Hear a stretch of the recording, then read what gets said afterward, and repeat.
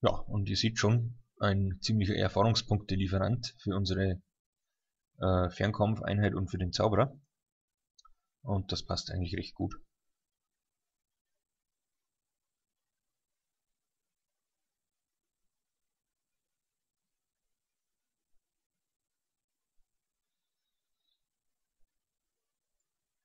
Ich muss nun gehen, um weitere Befehle zu erhalten. Lebt wohl, Kommandeur. Ja, damit haben wir unseren Holger verloren. Kriegen aber gleich Ersatz, wie unser Dietrich sagt. Und zwar können wir hier unsere bestehenden Truppen endlich wieder aufstocken.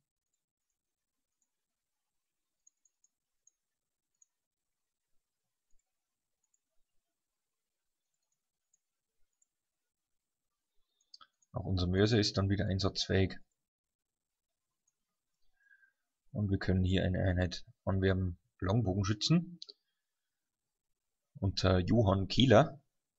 Langbögen stellen für jede von Söldnern gebildete Streitmacht eine wirkungsvolle Ergänzung dar, da sie ihren Kameraden wertvolles, weitreichendes Unterstützungsfeuer zur Verfügung stellen. Die Langbögen von Johann Kehler haben sich überall in Averland einen Ruf als geschickte Bogenschützen erworben die auch bei zahlreichen Turnieren der Provinzen zum Wettbewerb antreten. Sie haben außerdem aus früheren Söldnerfeldzügen Erfahrung auf dem Schlachtfeld. Ja, keine schlechte Einheit, vor allem da die auch ballistische Fähigkeit 4 haben. Und die werden wir doch glatt mitnehmen. Ich speichere hier nochmal ab. Imperium. Und mache mich weiter auf dem Weg nach Null.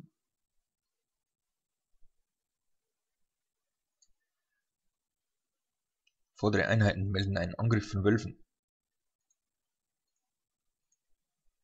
Ja. Attacke. Ähm, ja, genau, hier. Ähm, hier sehen wir vier Einheiten Wolfsreiter und einen Feuerzauberer, der von ihnen umringt ist. Und ähm, ja, ist hier eigentlich auch eine äh, Mission, die eher einem Tontaubenschießen gleicht als einem Kampf. Und wir lassen hier eigentlich auch wieder alles von unserer Kavallerie und von den Fernkampfeinheiten Einheiten erledigen. Hm, und ja, hier können sich eigentlich die Langbogenschützen schon mal beweisen. Die sind eigentlich echt nicht schlecht, da sie eine ziemlich lange Reichweite und äh, auch kurze Schussfrequenz haben. Und ja, die werden wir jetzt hier einfach mal erste Erfahrungen sammeln lassen.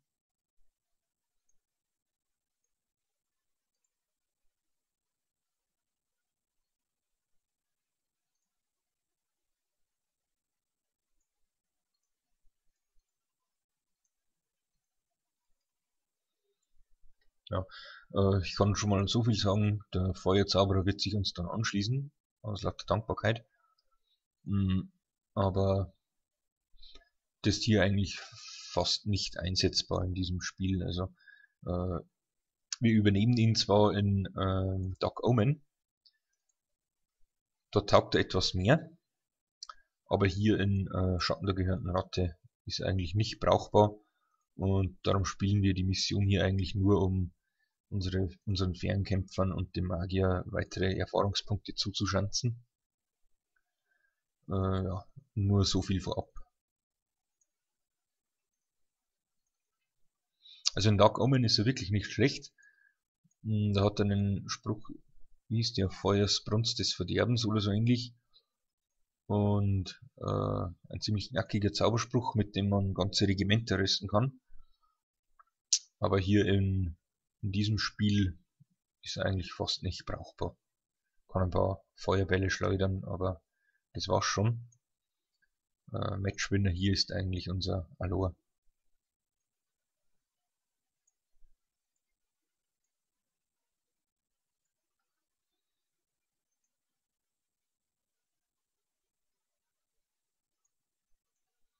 Ja, damit es nicht allzu lange dauert, greifen wir hier mal die Wolfsreiter mit der Kavallerie an. Wo liegen die eigentlich welche? Marschieren wir mal ein bisschen hin. Hier. Magische Gegenstände gibt es auch nicht in dieser Mission.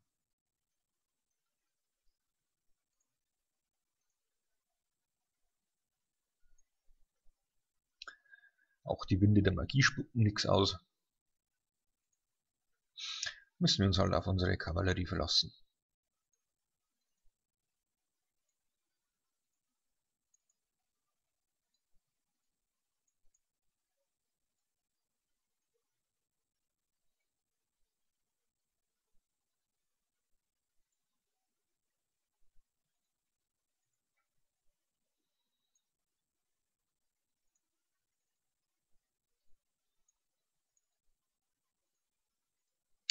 Hier gab es für den Bernstein-Zauberer auch noch einen ziemlich guten Spruch.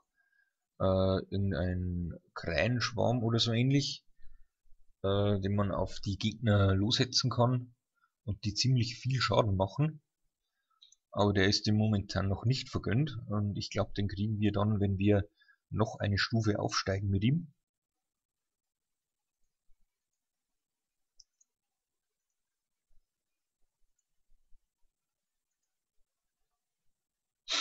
Ja, gut, auf die beiden Wolfsreiter kommt es mir jetzt auch nicht an. Und damit beende ich die Mission. Vielen Dank für eure Hilfe, aber ich habe sie ganz gut in Schach gehalten. An eurem Banner sehe ich, dass ihr eine Streitmacht von Söldnern seid. Es sieht außerdem so aus, als könntet ihr die Hilfe eines Meisters der magischen Künste gebrauchen. Ich stünde für derartige Dienste zur Verfügung, zu einem angemessenen Preis. Lasst uns die geschäftlichen Angelegenheiten in meinem Wohnwagen besprechen, mein Herr. Mein Herr wird eure Zeugnisse und Empfehlungsschreiben überprüfen. Ja, wir schauen uns den Typen mal kurz an. Hier der Feuerzauberer. Luther Flammenschlag ist stur und egoistisch. Äh, ja, wir lassen ihn aber links liegen, also für 100 Goldkronen brauchen wir den Typen wirklich nicht. Ich speichere hier nur kurz mal ab. Und im nächsten Let's Play setzen wir uns weiter in Marschrichtung Null. Bis dann.